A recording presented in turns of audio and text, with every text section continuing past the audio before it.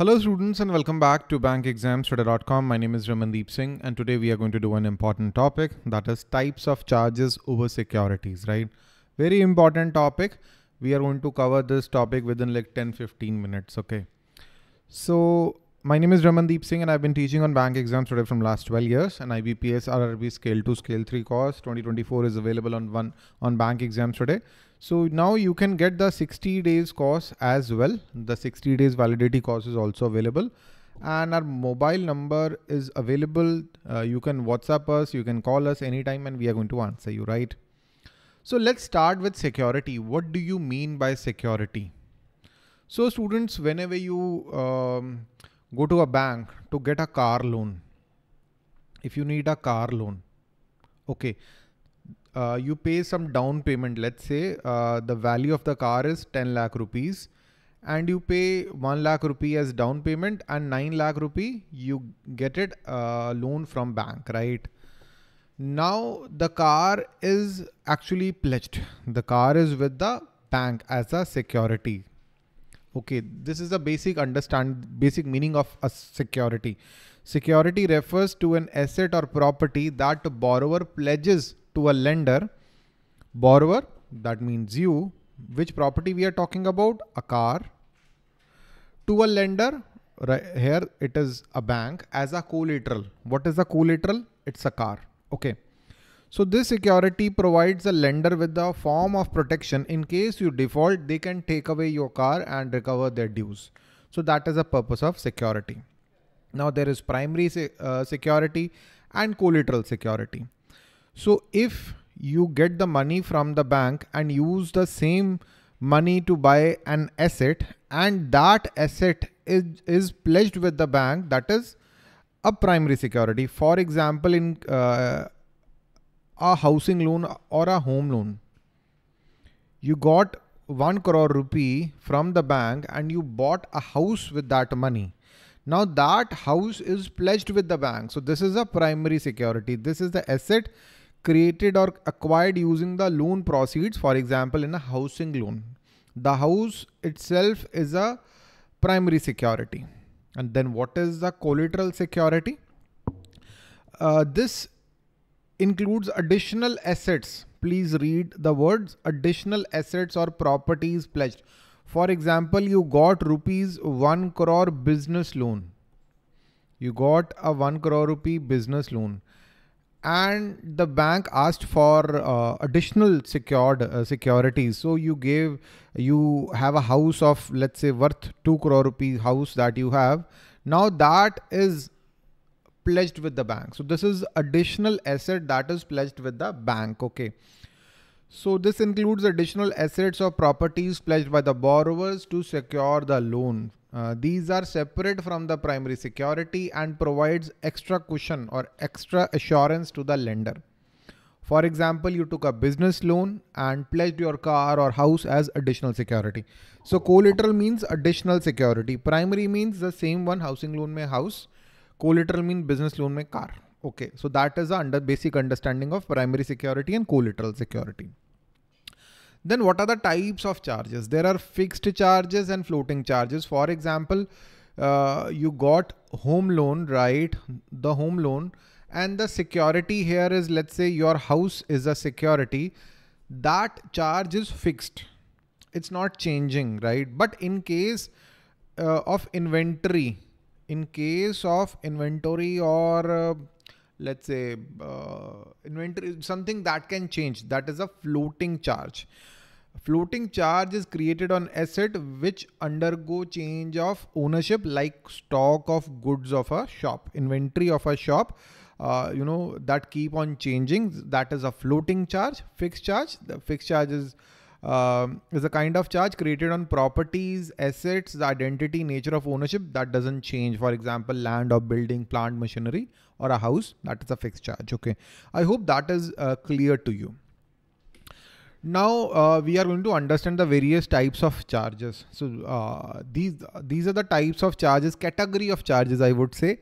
But th this is the types, basic understanding of the types of charges please read this particular table properly. Take a screenshot. This is very very important from examination point of view. Okay both important hai mortgage uh, is created on immovable property um, commonly on uh, uh, houses or buildings right? And the possession is with the borrower you got the housing loan, you live in that particular house. So that is a mortgage. We are talking about mortgage. Pledge movable goods or property, right? So pledge is created on movable uh, property. So it can be created on share certificate, NSC certificate or the gold jewelry. So you take a gold loan that is a movable property, right? And the possession is with the uh, bank or the NBFC. Gold loan is a good example. Gold loan is a good example. In the first one, home loan is a good example. Okay.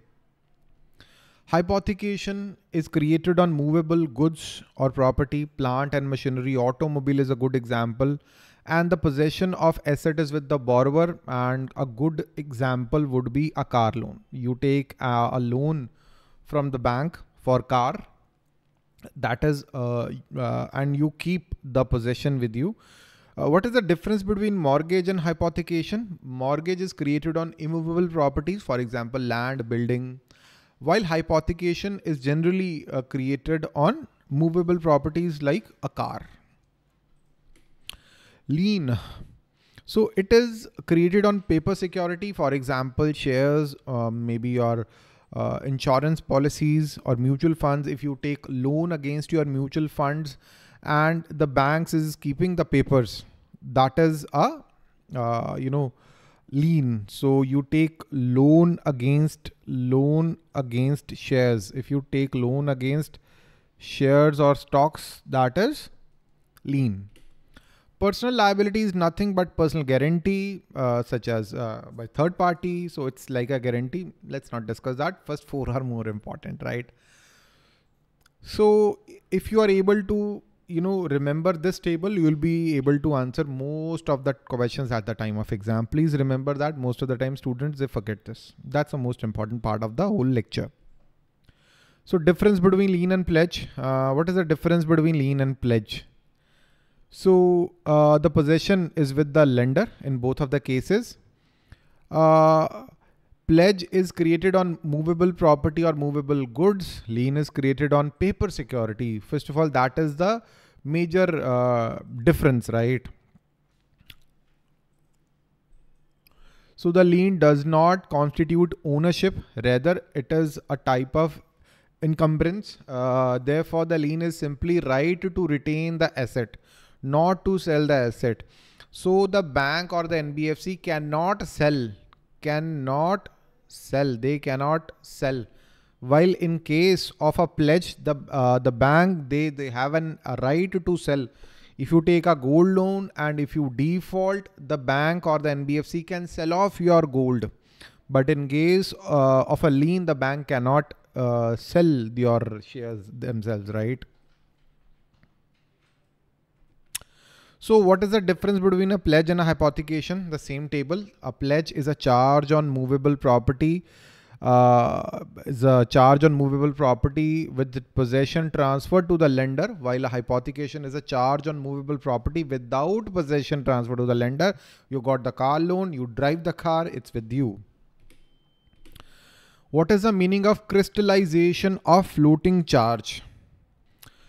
When a company uh, wants to close down its operation, company ने बोला हम business करना बंद कर रहे हैं. When they uh, cease to continue their operations, so they are not in going concern. They are going to close down the operation. In that case, uh, the floating charge becomes a fixed charge. So that is crystallization.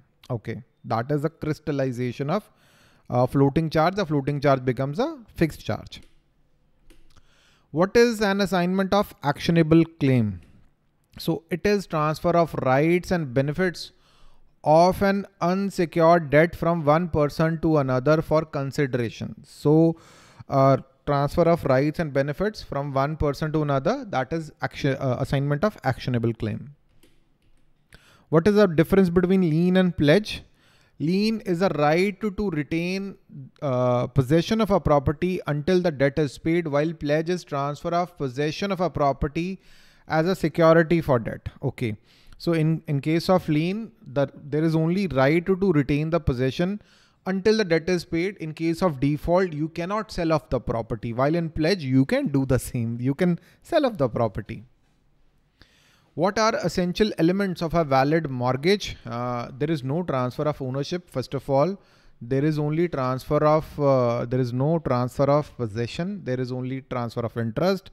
So it is about immovable property, not about movable property. So C is the answer for a consideration and uh, there is a proper registration of the charge. What are the advantages and disadvantages of an assignment of actionable claim? So advantages easy to create, no stamp duty, no registration, disadvantages subject to prior claims, notice required, limited scope. So what is the different uh, difference between mortgage and a charge? So a mortgage is transfer of interest in immovable property, completely correct, right? Uh, while charge is a creation of interest in any property, right? What is the difference between fixed and floating charge? So a fixed charge is on a specific asset, a floating charge is on a class of asset. So what class of asset? That can be stock, uh, inventory, uh, inventory of a business, that can be a floating charge, okay? So what are the advantages and disadvantages of a mortgage? Advantages, high security, low interest rate, long repayment period. So housing loans are generally of 20, 30 years. Interest rate is generally low. Uh, security is high. The house itself is a security. Disadvantages, uh, the borrowers, they end up paying a lot of interest. There are a lot of legal formalities. Risk of foreclosure is always there because it's a long, uh, lengthy, long period debt what are the types of mortgages based on their mode of transfer? So there can be simple mortgage, uh, usufructuary mortgage, English, equitable, anomalous or reverse mortgage. So this slide is actually very important. Uh, a simple mortgage is one where borrower transfer the interest in a immovable property to the lender without delivering the possession uh, or agreeing to sell it. So a simple mortgage, it's as the name suggests, it's simple. The borrower transfer the interest in the property, in the immovable property, right, without delivering the possession. A simple uh, mortgage, uh, as uh, you know, there can be a uh, you can see in case of a home loan, right? You keep the possession, but the borrower has an interest, right? Uh, another type, usufructuary uh, uh, tongue twister mortgage is one where the uh, borrower transfer the interest in the immovable property to the lender along with delivering the possession, right? So I have made up a simple uh, table for that to understand. In the simple mortgage, uh, the borrower promised to repay the loan but keeps the possession. Okay. So no transfer of property or personal obligation to repay in usufructuary uh, the borrower gives the possession of the property to the lender until the loan is repaid. So you give the possession in old movies you might have seen uh, the lender they take the possession as well. In English mortgage borrower uh, transfer the ownership as well. The ownership is also transferred until the loan is repaid. In case of default the lender becomes the owner. In case of reverse mortgage, it's very popular among senior citizens. The home uh, the homeowners, what they do is uh, they take money from the lenders against the property. They they keep the possession with them, right? The homeowner uh, borrow uh, borrow against their home equity and receive payments while living in the home. No repayment until home uh, homeowner moves out or they, they pass away in case they're legal hires they they want to take the possession of the property they need to repay their uh, the whatever the money they owe to the lender so equitable mortgage borrower gives lender the title deeds so you might have seen in the old movies you give the property papers and then uh, you borrow the money, right? So that is equitable mortgage and the title deed uh, is the security for the loan, right? So there is no formal transfer of the ownership based on the title deeds, right? So these are the five common types of mortgages that we have discussed, right? Reverse mortgage, equitable mortgage, anomalous mortgage. What is anomalous? So uh, its combination, it can be a combination of uh, any uh, you know type of uh, mortgages. It can be a, uh, it can be a combination of reverse and English equitable or uh, simple, right? So it can be a combination of two mortgages, right? So that is a anomalous mortgage, right? So I hope you like the today's session. Please note down the tables are important. Uh, take the screenshots if you want to let me erase it for you so that you can take the screenshots uh, you can keep the screenshot. You can take the printouts even for the previous table that I made. Please take the screenshot. That is very very important for you. Uh, I guess yeah. Let me just uh, clean that. I don't think I can clean this now. You can take the screenshot uh, as well right? So that's all I guess. Uh, we have done this. If there is any doubt in your mind, you can always ask your doubts. IBPS RRB Scale 2, Scale 3 course 2024. Now the course is available for 60 days. You can get the 60 days crash course on bankexamstoday.com. Uh, this is our WhatsApp number where you can ask your doubts and we are going to answer your doubts, right? So list of our successful students, all these students that took a course for the Union Bank of India Specialist Officer 2024. Recently, they cracked their exam for the Central Bank of India Specialist Officer for uh, SBI, CBO, for Bank of Baroda, MSME relationship, for IBPS SO marketing, RRB scale 2, scale 3 2023. All these students, they took our courses in the past and they cracked their respective exams and I'm really, really happy for them. So you can be one of them in the future and yes, you will be one of them in the future. If there is any doubt in your mind, please ask your doubts and I am going to answer all your doubts. And that's all for today students. Thank you and have a very nice day.